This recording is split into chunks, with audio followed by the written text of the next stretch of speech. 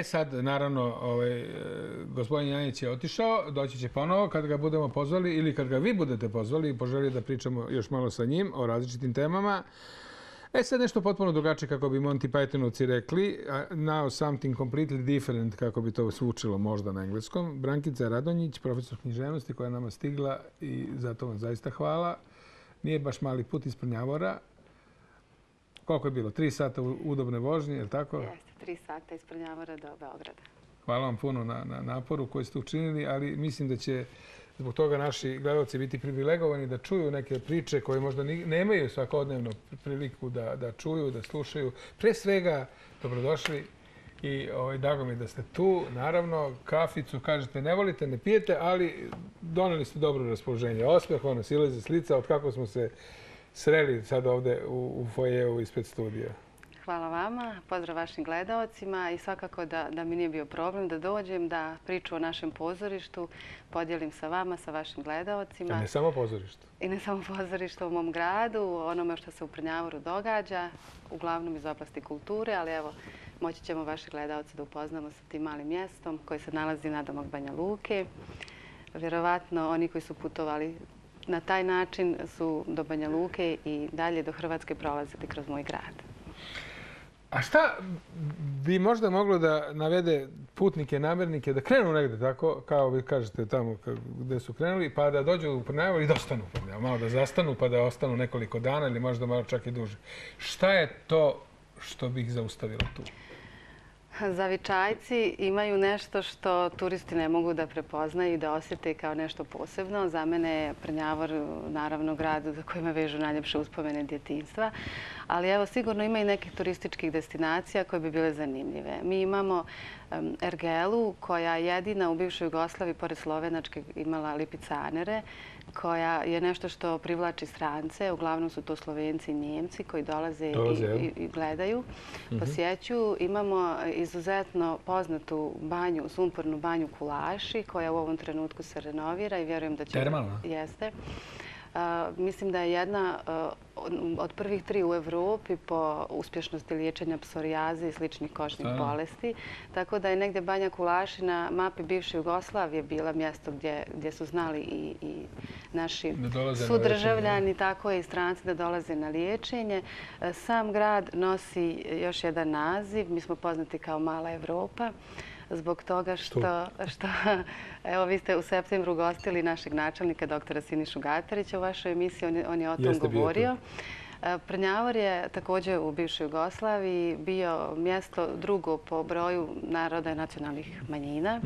E, I sada prednjačimo po tome. E, suživot kod nas je zaista um, na vrlo visokom nivou. Mi imamo u godišnjem programu brojne manifestacije koje njeguju i proslavljaju život naroda i nacionalnih manjina. Što se tiče kulture, što se tiče tradicije, jezika, škole su u brojnim projektima koje njeguju uh, takve teme. Uh, vjeronauka se izučava recimo konkretno u mojoj školi, u osnovnoj školi u kojoj ja radim. Kako zove? Osnovna škola Branko Ćopić. Ćopić, pa. E, evo, ovaj, konkretno, znači mi imamo vjeronauku pravoslavnu, katoličku, islamsku i ukrajinsku.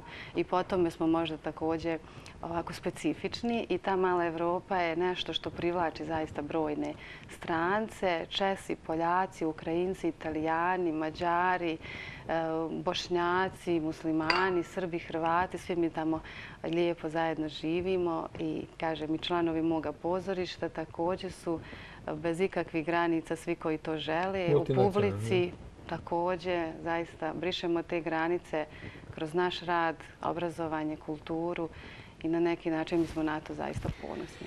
I završili ste tamo osnovnu i pretpostavljenu srednju školu, a onda je došao trenutak kada je trebalo se pozdraviti sa svojima.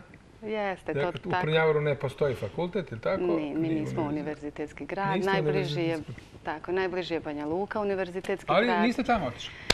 Nisam tamo otišla. Studijska grupa koju sam ja željela nije bila u Banja Luci. U to vrijeme su bila ratna događanja. Ja sam studirala u Novom Sadu. Književnost. E, iskreno, moja osnovna želja je bila režija. Međutim, to je zaista bio san. Ali evo sad... Sad se bavite režijom i kako se bavite režijom. Tako je, sad živim svoj san. I kako je moglo da se dogodi da vi odete, znate, obično tako ide ta priča. Otišao da studira u veliki grad, uslovno rečeno veliki, dobro, Novi Sad jeste. I e, tu se onda dogode ono da po pravilu ostanu ljudi i da tu krenu neki drugačiji malo život. Vi niste, vi ste nešto tu ovaj, drugačije prelomili, jel? Pa jeste, bile su to negdje moja i očekivanja da ću i ja tim putem da, da idem, da nastavim akademsko školovanje u Novom Sadu. Međutim, prosto je sklop okolnosti bio takav da je u tom momentu se upraznilo radno mjesto i da sam se vratila bukvalno u tu gimnaziju u kojoj sam ja nekad bila učenik, da radim kao profesor sa svojim bivšim profesorima koji su mi tad postali kolege.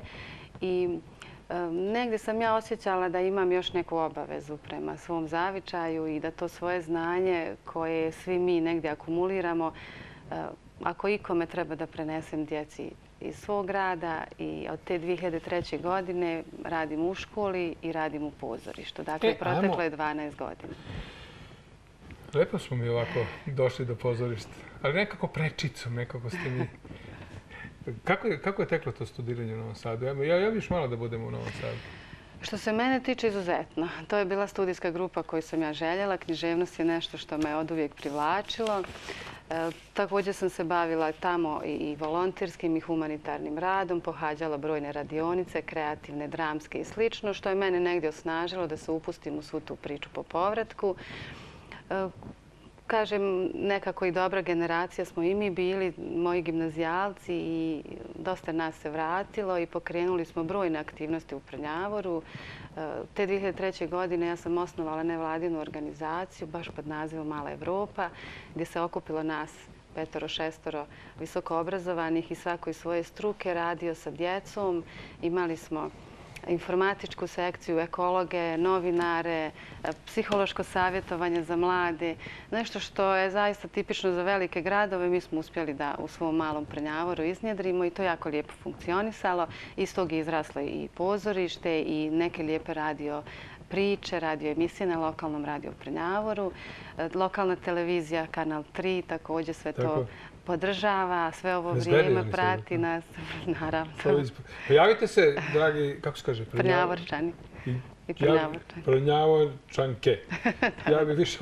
Ajde, sad šta bih... Evo, Dobro, ajmo, ajmo ovako. Ovaj, javite se, javite se 265-0485. Znate ono pre toga 0-0 i već šta ti ja znam još uvijek to mora da se okreće tako, ali dobro, šta je tu je? Dobro, blizu smo. Neka su samo te granice, to je najmanji problem. Najmanji problem, dobro. Sad, ajde ovako, ovaj, šta vas je privuklo u biblioteci?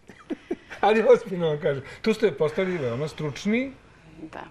I ovaj, koliko ste uspeli da se time, na, na, na, osim što ste pisali neke, neke radove naučne u tom smislu, šta ste, kako ste to? Kao profesor književnosti ja sam radila prvo znači, u nastavi, u osnovnoj i srednjoj školi i tu negdje sam dostigla svoj vrhunac prosto u prosvjeti. Evo i vaše kolege koji nas gledaju, malo je prilika za napredovanje, osim što je svaki uspješan čas napredovanje i to je nešto što, što nas sve vuče dalje.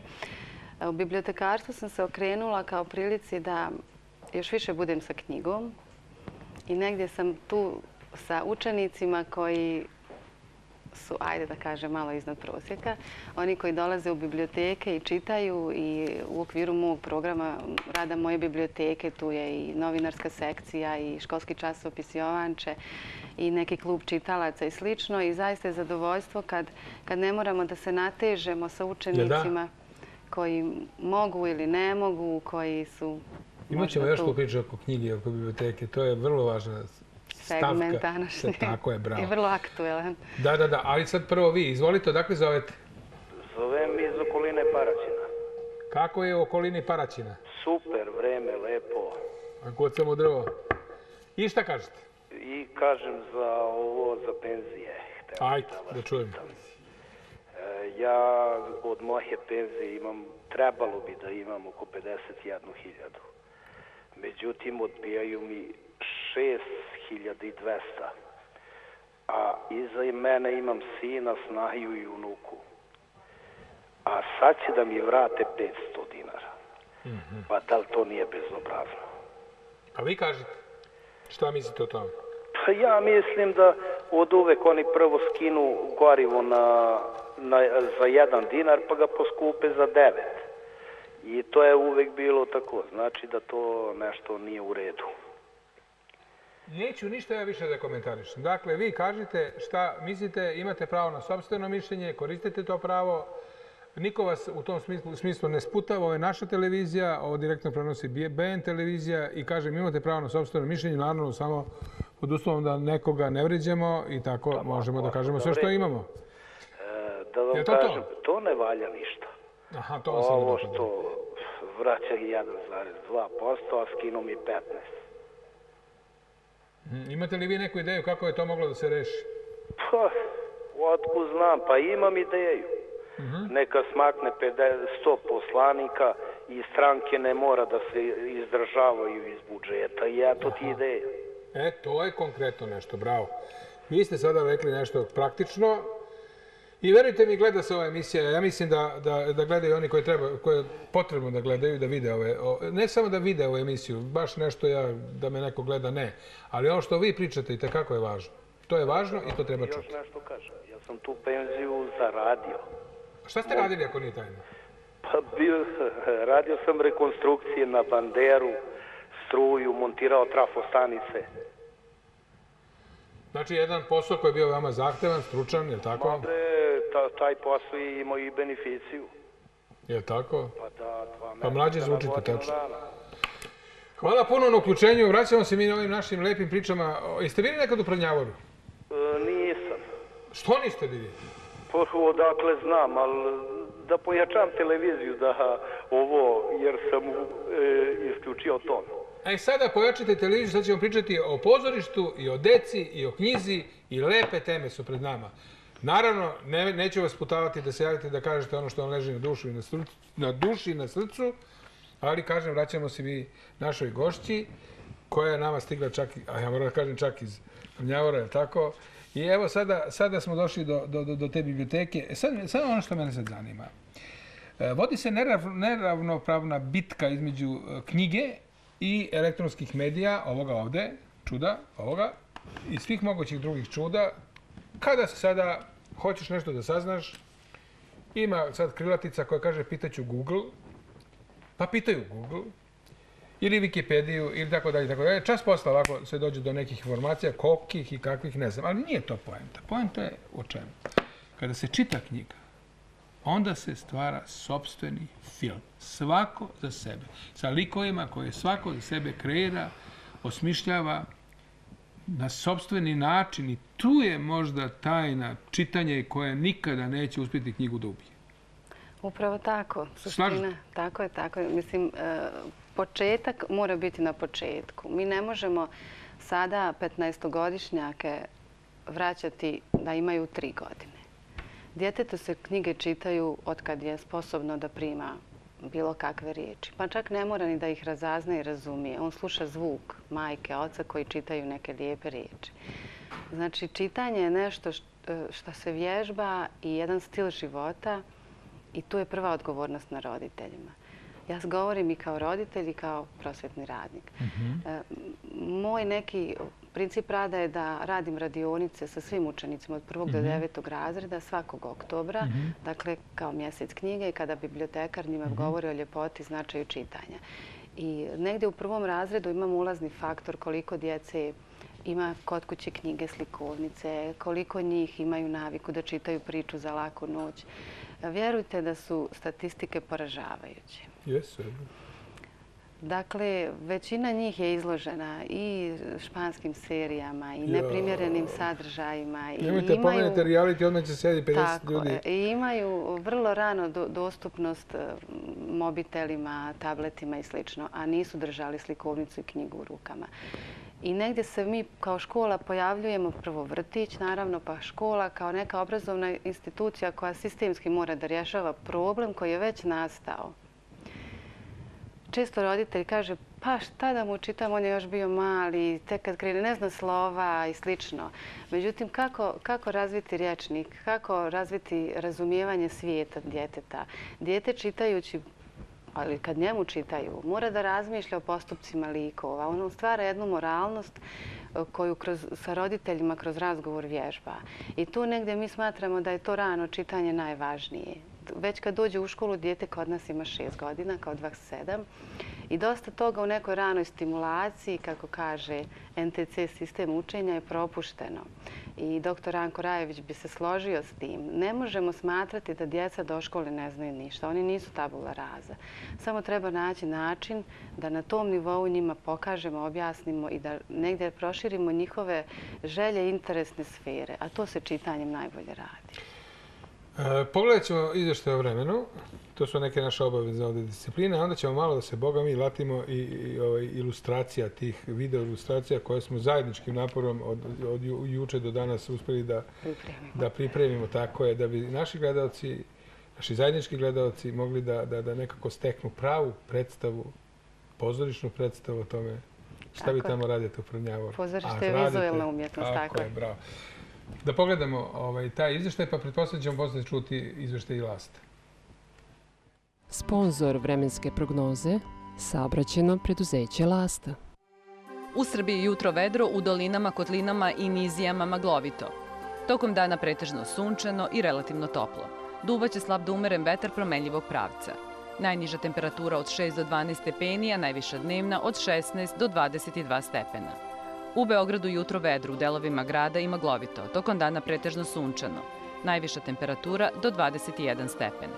Narednih dana jutra će biti vedra, u kotlinama, dolinama i nizijama maglovita, a dani sunčani uz postepeni pad temperature, naročito tokom vikenda, ali se i dalje zadržava temperatura iznad proseka za ovo doba godine.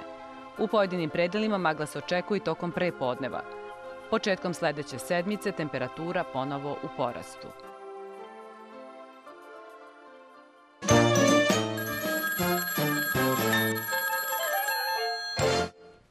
Dobar dan, izvolite, Lasta, je tako? Da, dobar dan vama i vašim gledacima. Saobraćeno prezveće Lasta danas saobraća po registrnom redu vožnje za radni dan četvrtak. U saobraćaj danas uključeno 616 autobusa. Planiramo da održimo 6236 polazaka u međugradskom, gradskom, prigradskom međunarodnom saobraćaju. Prema svim dobijenim informacijama naših dispičkih centara, saobraćaj se do ovog uključenja odvio bez zastoja, kašnja i neodržanih polazaka. Od međunarodnih polazaka danas ispratit ćemo Pariz u 13 časova, Beč u 17.21, Split u 20.30, Ljubljanu u 21 i Herceg Novi u 23. Na graničnim prelazima nema duži zadržavanja, pa nam autobusi sa međunarodnih linije pristižu na vreme. Danas očekamo autobuse iz Pariza, Amsterdama, Ljubljane, Splita i Poreča. Za sve dodatne informacije o našim polasima, dolasima, kao i cene karte za naše polaske možete dobiti tokom 24 časa na telefon 0800 334 334 ili 011 3348 555. Rezervacije karte za međunarodni saobraćaj možete rezervisati od 8 do 20 časova na telefon 011 3206 960 ili 0900 334 334. Svim putnicima koji sada kreću na put i voznom osoblju želimo srećan put i udobnu vožnju, vam i vašim gledalcima i prijatan dan uz televiziju TV Naša. Toliko za ovo uključenje iz Lasinog informativnog centra. Hvala vam puno zaista i, i srećan put i vozačima i putnicima. Vežite se pre kad krećete da vozite, upalite svetle da bi vas videli. To je ono što često molim i fokusirajte se na vožnju, zaboravite neke druge stvari. Ajmo sad ovako. Kada se u martu 2003. godine na ideju vaš, vašu ideju, profesorke Brankice Radonjić, u Centru za kulturu okupila grupa srednjoškolskih entuzijasta, niko nije slutio tako da će se tu nešto dogoditi što će trajati punih deset godina i već te prve godine odmah depitanska predstava gospođa Mini Starka, prilagođena, adaptirana verzija, naravno, Nušićeve komedije, već dve nagrade u Trebinju, je li tako? Jesam dobro nučio svoju Jeste. Jesam, izgleda. Malo se poteče, malo virim. Virim kao svaki džak. Ajde, ajde, ajde sad malo da pričamo o tome, ali pre nego što bilo što kažemo, hajmo da pogledamo, molim režiju za prilog broj 3. Punom snagom.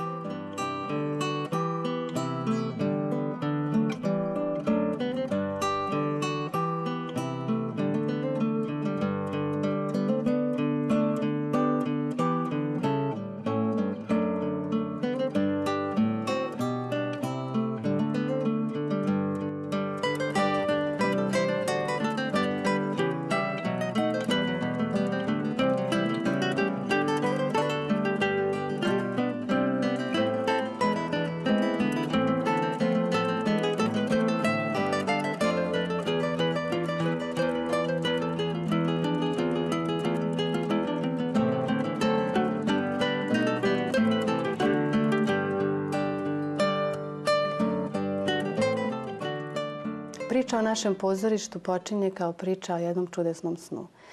Snu u kojoj je počeo da sanja jedna mala grupa ljudi, a koja je vremenom privukla veliki broj sanjara. Tada nismo mogli ni da pomislimo koliki broj dječice, roditelja, naših sugrađana će postati dio naše pozorišne čarolije. I sad nastavljamo priču, tako? Pa zaista Kako sećate tih, da. tih dana? Da, da, da. Uh, Prošlo je već 12 godina. 12? Jeste, znači 2003. smo počeli. Tada ovaj 12, film je sniman povodom 10 godina, 2013. godine, kada smo proslavili naš važan jubilej. A počela sam sa srednjoškolskom grupom, jer sam ja tad radila u srednjoj školi. I jednostavno, mi smo rezultat jednog festivala koji se zove Festival omladinskih pozorišta Republike Srpske, koji je krenuo da putuje 2011. godine sa ciljem, 2001. ja se izvinjavam, sa ciljem da upravo u manjim sredinama se formiraju amaterske dramske grupe. Naravno da niko od nas to tada pogotovo nije bilo na nekom visokom nivou, niti su bile brojne grupe i evo mi smo e, prihvatili tu njihovu ideju, priču, našli su se e, i ljudi i djeca zainteresovana i već ta naša prva debitantska predstavica je izuzetno visoko ocijenjena. Zanimljivo zvuči, ministarka. Pa jeste, ja sam uradila adaptaciju Nušićeve ministarke jer smo negdje i tad prepoznali da je ona zaista aktuelna. A povodom deset godina uradila sam drugu adaptaciju, zvala se Ministarka 2013. I negdje mi pratimo ove moderne trendove i tendencije ovo što ste spomenuli, reality show, ovaj estradni život, e, obogaćenje preko noći i slično. I to je negdje gdje Nušić vječito aktuelan. Šta bi on danas pisao? Pa vjerujem da bi imao materijala i tekako. Čujte, ne samo što se toga tiče, nego ne bi mogao čovjek da se snađe u zemlji čudesa u ovom trenutku. Imamo vas sada, je tako? Odakle vi zovete? Iz Zemuna, Češi Snovka. Izvolite. Dobar dan. Poštovanje, dobar dan, dobrodošli. Ja bih da pitam u vezi penzije i, i moga života. Ja sam nepokretna, imala četiri godine. I ja nemam niđe nikoga, ni od roda, ni od doma. Ja sam sama ženi plaćam te me gledam, gledam, donese mi nešto s pijace iz prodavnice. Ja ima četiri i pol godine da nijesam otišla na pijacu ni u prodavnicu. I ja nemam od čega da živim ni do sad, a još penzije te smanjuju svaki čas. Ja ne znam kako da živim. Moj je muž bio vojno lice,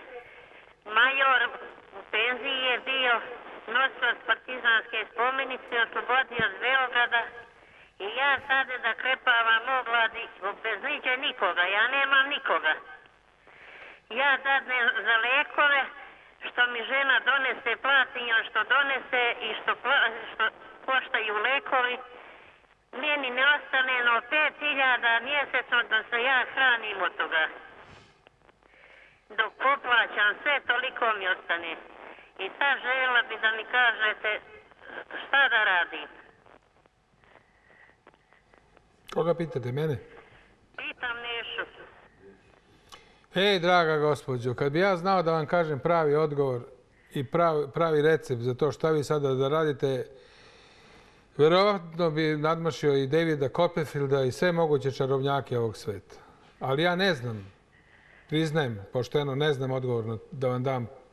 Kako ne znate, žena koja je nepokretna, šta, da Ne znam, draga gospođo, nisam vičan da bi bilo šta mogao da vam pametno kažem u ovom trenutku.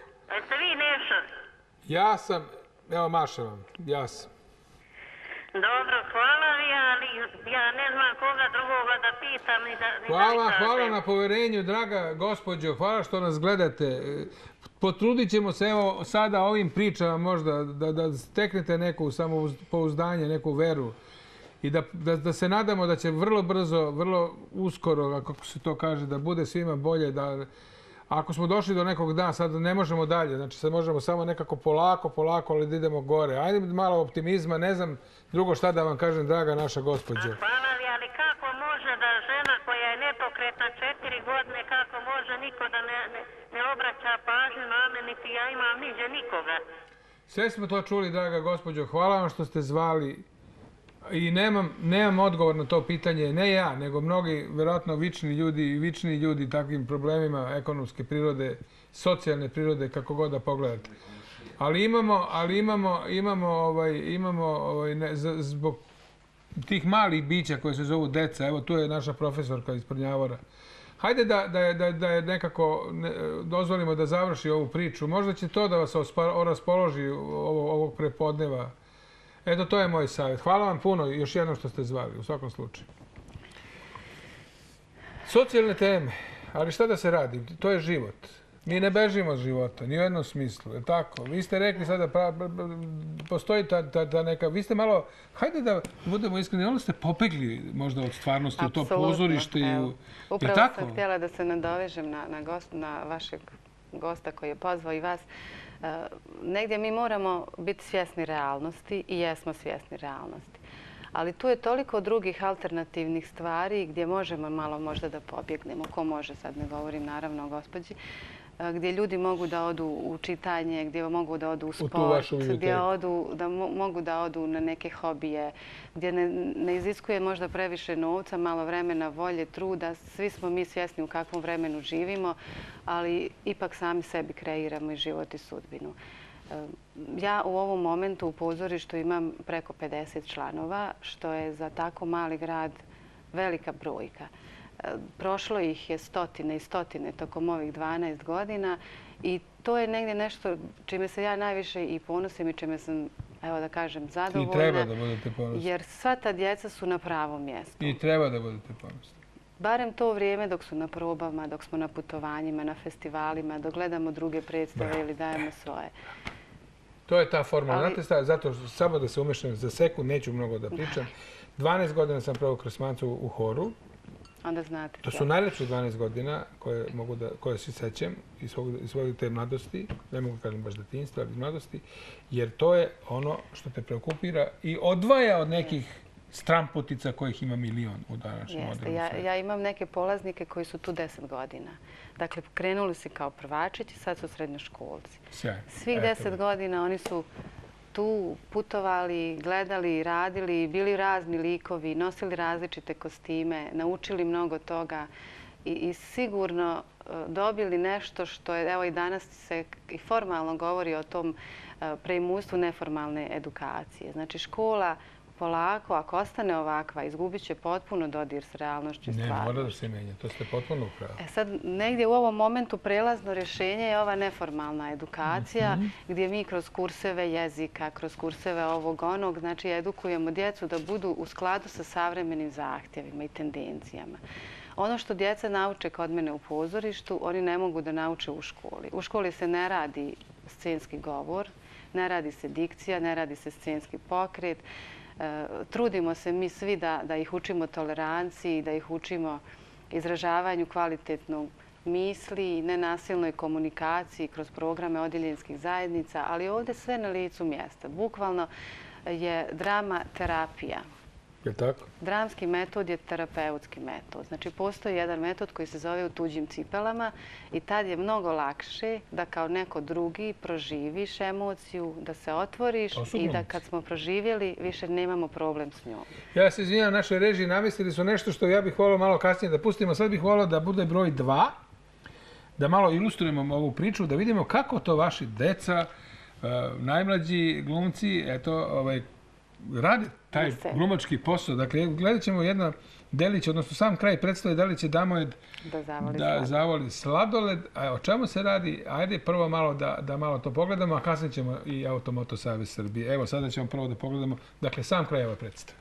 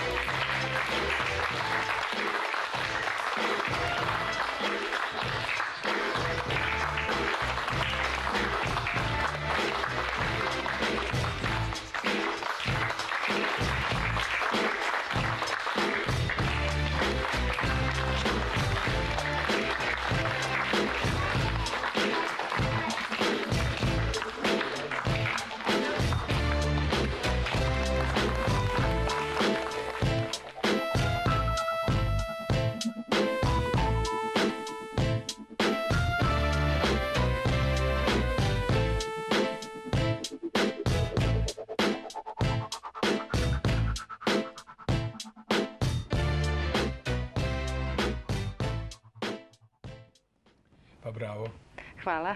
E, o samoj predstavi pa reči, pre nego što budemo krenuli malo ovaj, neke, neke, ajde da kažem, e, prateće stvari koje, koje se tiču možda i financija i podrške, posećenosti i tako dalje. i tako. Upravo je ova predstava prva sa kojom smo se mi predstavili na Republičkom festivalu, znači, dakle Republike Srpske, postoji Dječji dramski festival gdje e, je propozicija da su djeca do 15 godina.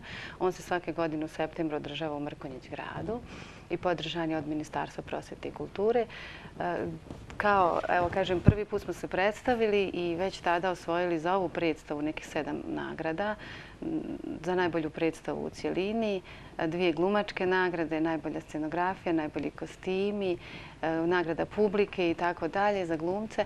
E, tako da nekako u samom startu, kako je taj dječji ansambl formiran, a mi inače radimo u tri grupe, mhm. imamo grupu Maleni, dječji ansambl i omladinski ansambl. I mhm. prosto po njihovom uzrastu, sposobnostima glumačkim, e, takve biramo i tekstove i takve predstave radimo i naravno vodimo računa o ciljnoj grupi kome ćemo mi to predstaviti. Kome predstaviti? I evo upravo hoću da kažem da je taj dječji ansambl najuspješniji. Dakle, osnovci unazad godinama, evo četiri, pet godina na republičkim i državnim takmičenjima mi smo najbolji u Republici Srpskoj što se tiče dječjeg ansambla i naše predstave su sve moguće nagrade svih oblasti dobile, dakle i za predstavu, i za glumu, i za režiju, i za pedagoški rad, za scenografiju, kostime, sve ono što prati našu muziku. Kao što ste mogli vidjeti, zaista vodimo računa o svim segmentima. Sve je ne može tako Ne može predstava da se glumi u sportskom duksu ili da se malo našminkaju neki brkovi, to nije vjerodostojno. E, vodimo računa iz poštovanja prema našoj publici. Oni zaista vjeruju u taj svijet koji gledaju na sceni i mi ne želimo tu iluziju nikada im ukinemo. Ovo za njih nisu kostimirani glumci, nego su kuvar i dvorska luda, baka, zmaj i tako dalje. Otpuno sve postavljati. Tu ste rekli malo čas, ono bitno. Ta mogućnost transformacije e, na neki način predstavlja pravo utočište za upravo tu decu koje ipak žive život da tako kažem, koji nije baš ovako nebremenit problemima u porodici i tako dalje. Bitka za opstanak, mhm. bitka za njih, bitka za, ajde da kažem, svakodnevnicu je žestoka. Upravo se događa da da nekako, kako ste rekli, utočište od svega toga traže kod nas u pozorištu takva djeca. Djeca koja imaju negdje neki problem. Pa da li je to problem u školi kod kuće, u prihvatanju od strane vršnjaka, problem u samopouzdanju, problem sa govorom, problem sa prepoznavanjem sebe. Pričite nam malo o tom programu inkluzije, to je mnogo važno. Vi ste tu veoma aktivni, tako? Mi smo u školi u kojoj radim prošle godine realizovali projekat u napređenju položaja djece i mladih sa smetnjama u psihofizičkom razvoju koji je podržan od strane Evropske unije i Zavjeta Evrope. Jedina smo osnovna škola iz Republike Srpske koja je imala zadovoljavajući um, projekat da budemo podržani. I kao škola e, odradili smo sve što smo mogli tokom protekle školske godine, a želeći da edukujemo našu javnost, radili smo i na radiju, radio emisije sa istom tom temom. Pozorište se savršeno uklapa u tu priču. Prvo, ja ne radim audiciju i nisam nikada odbila ni jedno dijete koje je željelo da to bude. No, to je divno što ste sad rekli. Moj je posao da nađe mjesto svakom djetetu. Ako dijete ima želju, mi ćemo raditi i doći će negdje do tih svojih pet minuta slave. I zaista nikad mi se nije desilo da ne bude tih pet minuta za to dijete svih ovih godina. E, negdje se možda priključe kao glumci pa shvate da više vole da rade šminku i kostime ili momci odluče da rade tehniku, da rade muziku, svjetla i ostalo, ali su s nama, dio su grupe i mislim da je to ono što je negdje najvažnije, da se oni prepoznaju i da su tu prihvaćeni. A to što mi proživljavamo ovih godina iz lika u lik, u jednoj sali, u drugoj sali, pred ovom publikom, pred onom publikom, ne može se prepričati. Gledaoci koji se bave nečim sličnim potpuno razumiju o čemu ja pričam i šta za nas znači 30 javnih nastupa godišnje. Ja kad napravim izvještaj o radu, to je otprilike 30 javnih nastupa godišnje, recimo tri mjesečno. A sad tri puta mjesečno postaviti scenu, obući, našminkati, raspremiti scenu, dočekati publiku, ispratiti publiku Ja radim drugi posao, djeca idu u školu, ja radim sa djecom. Nije to nama jedino u životu. Tačno tako. Tako da, da zaista se trudimo da negdje e, visoke imamo pedagoške zahtjeve, visoke umjetničke zahtjeve i rezultati su takvi zbog toga. Neko se nama sada javlja. Dobar dan, dobrodošli. Odakle zovete? Dobar dan. Odakle zovete? Zove mi iz okoline Banja Luke, negdje napola Banja Luka Prnjavor. Tu Želim negdje. Samo da vas pozdravim, vas i vašu poštu. Prosto ne mogu da vjerujem da postoje takve osobe. Blago djeci s kojima ona radi. Eto toliko od mene. E, Prosto predivna osoba, predivna osoba i mene interesuje gdje vi pronalazite takve osobe. Kako ste došli do takve osobe? Na oglas. Ja dam oglas. Molim dobre osobe da mi se jave. Šalim se, naravno. Mislim, znate kako to ide? Znam da se šalite. Pa normalno da se šalim. Ja volim da se šalim. Jel I vidite? trebate. Pa ajde ovako da gledamo malo na ovaj svet koji nije pretjerano ružičast druga, iz nekog drugog ugla. Ajde da potražimo te lepe stvari. Hajde da potražimo i to, su, to je neki zakon privlačnosti. Tako. Ako ste me pitali, ja želim da upoznam ovakve ljude. Pa, želim i sve snage. I to se Svaka događa. vam čast, gospodine Nešo, ja vas inače pratim preko BN televizije kad god imam vremena. Toliko od mene sve pohvale i, i vama a, kao voditelju, a i tim mladim osobama uspješnim svaka čast. A da nije bilo Tanje i BN televizije, džaba meni da bi ja to tako privlačio, da nisu se dogovorili i, i, i hvala vam što ste se odazvali. Doputovala je gospođa, sam sad pogrešio, Ketri nešto, ne smije više pogrešili. Hvala vam zaista od srca, na, pre svega vama na rečima podrške. Hvala vam zaista. Evo, za- sad ste me baš ovako malo zdrmali, što se kaže. Hvala najljepše za ove lijepe riječi. Ja uvijek ističem e, koliko su nama Znači, važni, kako da ne, naši roditelji. Za mene je svaki roditelj koji mi povjeri svoje dijete rekao sve. Meni više ne treba roditelj ništa da kaže. Ako je svjestan i odlučio da to dijete provodi vrijeme sa mnom i mojim načinom rada, znači da vjeruje u to. A- Ovaj dečko što je skuo ovu kafu, oženiti se neće, ako ne... Dobro što, imamo mi, ovo je dobra kafa, samo ne znam kako se ovo, malo se valjda to prokuva. Ulele, pa. I šećer si stavio. O, pa ko da me, s čime sam ti se zamerio, bre? Kolega jedan. Ajmo da pogledamo izveštaj Automoto Saveza, pa ćemo se vratiti ovo, u studio. Javite se, na, prijavim nam ovakvi pozivi, ali boga mi slobodno se javite ako imate nešto drugo da kažete.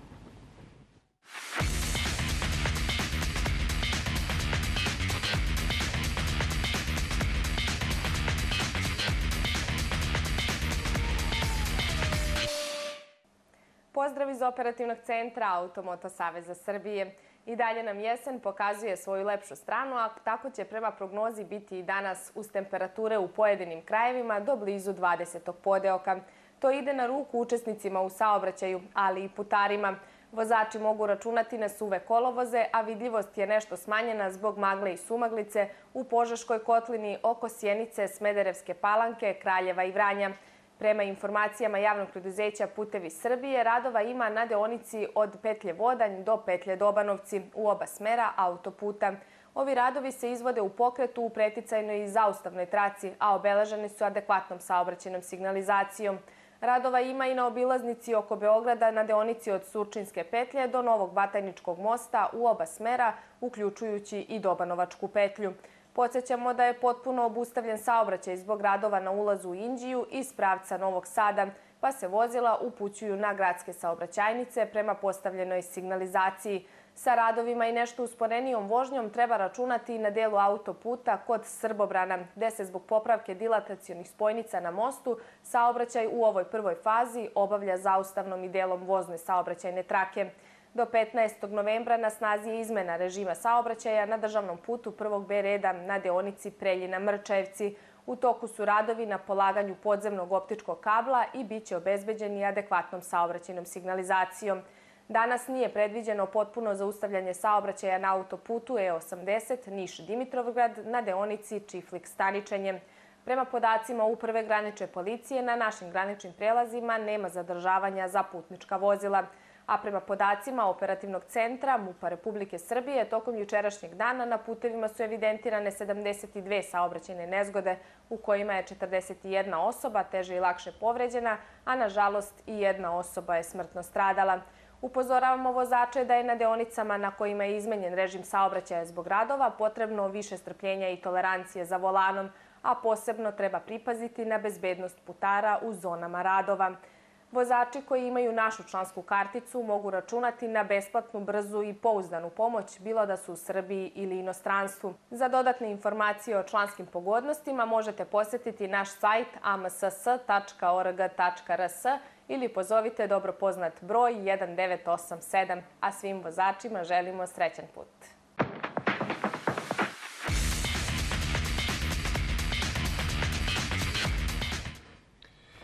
Vraćamo se ime našim pričicama. Hajmo odmah, draga režio, sada da pogledamo broj 7. Zašto broj 7? Zato što će sada deca, Adnan i Ana, da nam kažu svoje neke impresije i uz neke male inserte iz nekih predstavica. Kratko to traje, ali vrlo je lepo i poučno, a onda ćete vi malo da nam kažete ko su ta deca. Da pogledamo.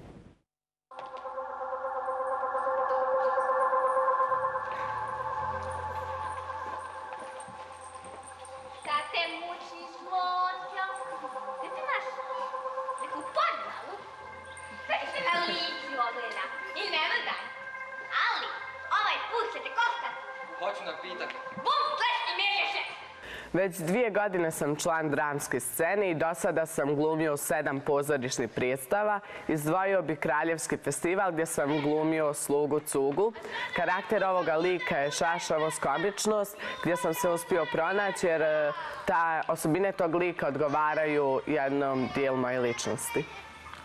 Od malih nogu sam već član pozorišta. Tu sam, kako reći, odrasla. Glumila sam u mnogo predstava, a najviše mi se svidla predstava Kraljevski festival u kojoj sam glumila Dvorsku ludu. Dvorska luda je, što svi znate, šašava i svi su je htjeli, a na kraju sam ja dobila, pošto najviše liči na Dvorsku ludu. Posta si budala! Osjećaj da se u ovoj pjesmi više pjeva u misu, ali bit ću da rezeva i daću tri boda. Recite mi, ali iskreno, Brankice, sitno kucano na celoj ovoj strani nagrade i priznanje. Ali pre nego što mi kažete kad ste stigli i kako ste stigli da sve ovo dobijete i da zaradite i da zaslužite, ko su ova deca? Koje smo sad upravo vidjeli? Uh, vidjeli ste e, inserte iz predstave koje po tekstu našeg dragog prijatelja napisao ga je dakle, uh, festival Tode Nikoletić s kojima mi već godinama sarađujemo.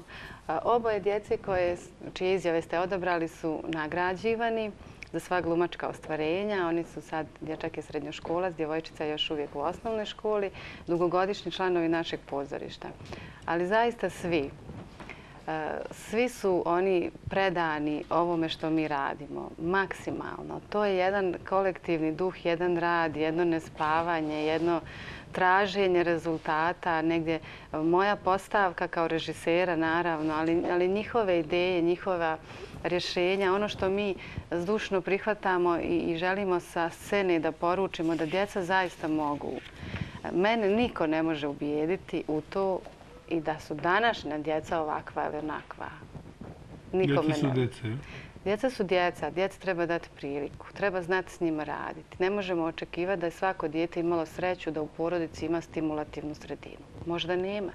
To ne znači da to djete ne zna i da mu ne treba dati priliku. Pitao sam vas da mi kažete za nagrade, ali sada ću da zamolim gospodina Nedeljka Sančanina da nam kaže par reče o vama. To je broj četiri. Molim vas, sad moramo da budemo brzi. Broj četiri, da čujemo iz usta književnika, kako vi kažete, čekaj, Neđe Sančanina. Da čujemo. Za pisa književnika u zavičaju nema radosnije vijesti ni događaja nego kada novi zavičajci, intelektualci stvaraju nove sadržaje.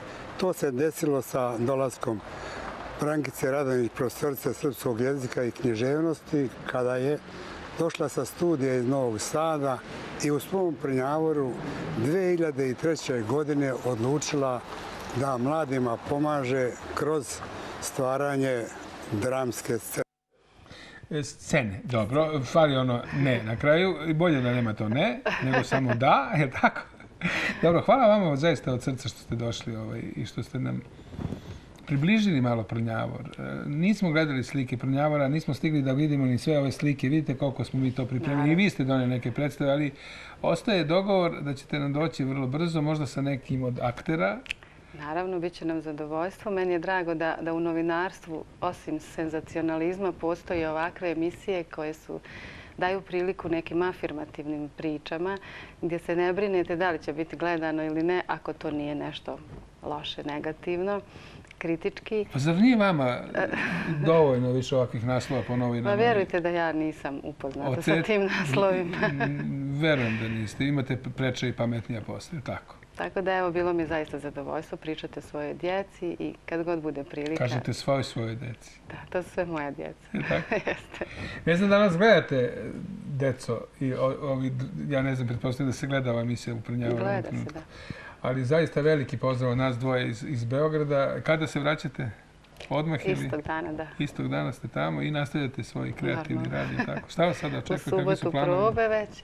Mi smo za 26. novembar zakazali jednu premijeru i novogodišnja nam slijedi do kraja ove kalendarske godine. A ja vam sad preporučujem da popodne budete kod kuće ili da se prošetate, a uveče obavezno uz našu televiziju jer će biti gostovanje čovjeka koji redko daje intervjue, Moca Vukotić, proslavljen naš futbaler, u okviru emisije Klub šampiona, negde od 21 na ovoj našoj televiziji. Sljedeći nedelje u sredu također na BN televiziji momčilo Moca Vukotić. Nema veze sa ovom pričom, ali ja nekako moram da iskoristim priliku da najavim one prave stvari. Imaćete šta da čujete, a od vas smo također imali šta da čujemo i hvala vam na tome. Hvala najljepše. Puno pozdrava svoj vašoj djeci. hvala, prenijeću im. Do sutra, prijatno.